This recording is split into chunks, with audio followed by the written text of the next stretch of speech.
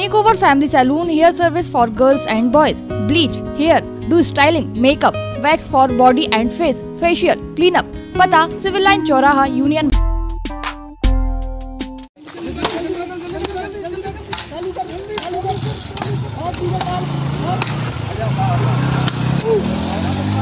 Corona virus के संकट से निजात पाने के लिए पूरे देश में 21 दिनों के लिए लॉकडाउन घोषित किया गया है और लोगों से अपील की गई है कि बेवजह घर से बाहर ना निकलें।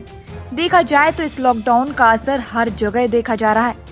लेकिन कुछ लोग इसके विपरीत ऐसे हैं जो बेवजह घर से बाहर निकलकर सड़कों पर घूम रहे हैं। इन लोगों का तबीयत से इलाज करने के लिए पुलिस भी सड़कों पर तैनात है और बेवजह घूम रहे लोगों पर पुलिस जमकर लाठियाँ भांज रही है। एमपी के अशोकनगर के मुगावली में भी बेवजह घूम रहे लोगों की पुलिस ने तबीयत से इलाज किया।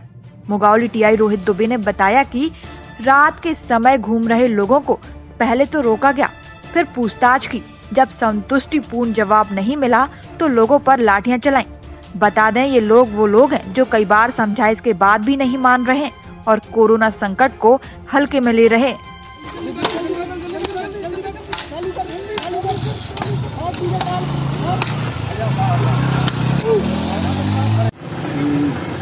कोरोना वायरस के संक्रमण प्रभाव को देखते हुए लगातार पुलिस पार्टियाँ घूम रही हैं। आम नागरिकों को समझाइश दे रही हैं, क्योंकि सात से बारह राशन की दुकानें एवं फल फ्रूट की दुकानें खुलेंगी। आवश्यक वस्तु लेने ही आदमी निकल रहे हैं। जो आदमी अकारण ही निकल रहे हैं, उनको दंडित किया जा रहा है, समझाइश दी जा रही है और बीच चौराहे बैठ के उठक बैठक लगवाई जा रही है। उनको समझाइश दे रहे हैं कि आप घर से ना निकलें और लोगों को मान भी रहे हैं और ये मुहिम काफ़ी अच्छी चल रही है। लोगों को समझ में आ रहा है तो घर से निकलना कब काफ़ी बंद हुई। अशोकनगर से Rahul Kumar Jain Sagar TV news.